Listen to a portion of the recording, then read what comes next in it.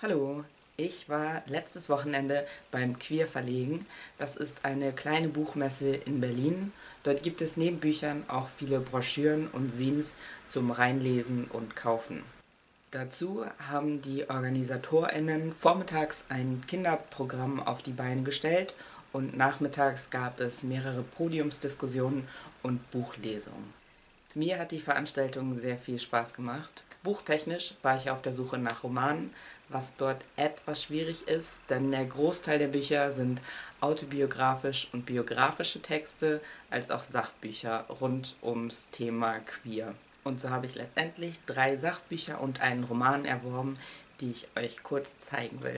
Der Roman heißt Nook Hashtag ohne Filter und ist von Niviak Corneliussen. Das Buch ist letztes Jahr im Zaglossus Verlag erschienen. Der gleiche Verlag, in dem auch Biskaya von Schwarz-Rund erschienen ist. Und dieses Buch lag dann auf dem Stammtisch auch direkt neben Biskaya. Und dann kam noch eine Person an den Tisch und wollte dieses Buch erwerben. Das Buch war auf der Messe das letzte Exemplar, was noch vorhanden war. Hat es dann an mich aber abgetreten und meinte, dass es mir auf jeden Fall gefallen würde ähm, was mich dann letztendlich tatsächlich zum Kaufen bewogen hat. Inhaltlich weiß ich nur, was auf dem Buchrücken steht, was ich einmal kurz vorlesen werde. Fia, Inuk, Anak, Ewig und Sarah. Fünf junge Menschen, die alle nicht so recht der Norm entsprechen.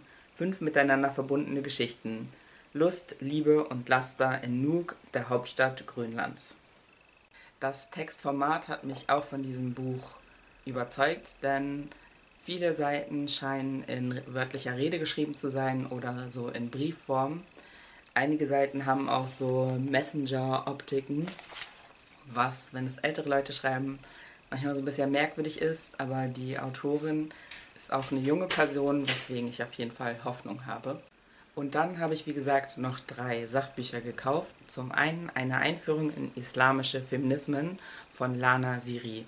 Über dieses Buch weiß ich inhaltlich nicht mehr, als der Titel verrät. Es hat ein recht kompaktes, kleines Format, was mich bei Einführung immer überzeugt, dass ich sie bewältigen kann. Dann Gegendiagnose, Beiträge zur radikalen Kritik an Psychiatrie und Psychologie, herausgegeben von Cora Schmechel, Fabian Dion, Kevin Dudek und Max Rosmöller. Es ist 2015 bei Edition Assemblage erschienen. Ich hatte ja vor kurzem diese Einführung in feministische Psychiatrie-Kritik gelesen, was mich insgesamt auf das Thema aufmerksam gemacht hat. In diesem Band kommen jetzt sehr viele verschiedene AutorInnen zusammen und beleuchten das Feld aus unterschiedlichen Perspektiven und auch mit unterschiedlichen Schwerpunkten weshalb ich mir hoffe, dass es etwas mehr in die Tiefe geht als die letzte Einführung. Ich hätte mir dieses 300-seitige Buch fast nicht gekauft, denn als ich mir das Textlayout angeschaut habe, ist mir aufgefallen, wie viele Fußnoten und Quellenverweise und all so ein Kram da drin ist, was mich einfach zu sehr an Uni erinnert.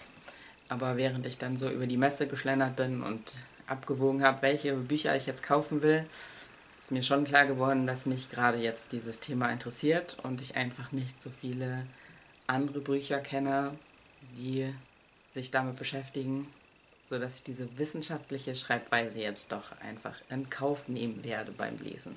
Und als letztes schwule Sichtbarkeiten und schwule Identitäten, kritische Perspektiven von Zülfukar Cetin und Heinz-Jürgen Voss herausgegeben. Es ist letztes Jahr, glaube ich, im Psychosozialen Verlag erschienen. Von dem Herausgeber Cetin hatte ich schon ein anderes Buch gelesen, und zwar Gespräche über Rassismus. Das ist 2015, glaube ich, erschienen. Das Buch hat mir sehr gut gefallen. Deswegen hatte ich das hier schon so ein bisschen auf dem Schirm. Ich habe dann ansatzweise ein sehr problematisches Buch gelesen, wo dieses Buch hier sehr kritisiert wird, was für mich dann eine Art Werbung war was mich auf jeden Fall noch neugieriger auf dieses Buch hat werden lassen. Der Buchrücken fasst das Buch inhaltlich unter anderem so zusammen. Die Autoren des vorliegenden Bandes hinterfragen die Gewissheit, dass eine einheitliche schwule Identität existiert, aus unterschiedlichen Perspektiven, bewegungsgeschichtlich, wissenschaftstheoretisch und mit Blick auf aktuelle gesellschaftliche Auseinandersetzungen um Homo, Nationalismus und rassistische Gentrifizierung.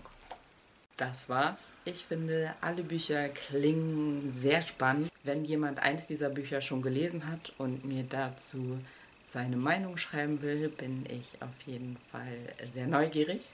Ansonsten war's das. Bis bald.